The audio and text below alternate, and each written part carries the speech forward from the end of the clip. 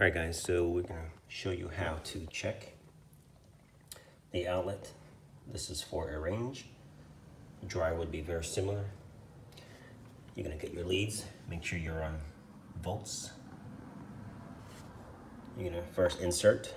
You can do them separate, doesn't matter. Okay, make sure they're fully inserted. You should be getting about 240 volts, okay? It will vary from places to places but you want to have about 240, okay?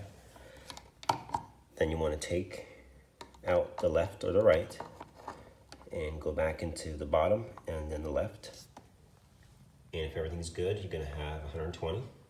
Okay, again, it's going to be up a little bit, could be a little less as well. Then you're going to insert your other and you should have the same. There it is. Okay.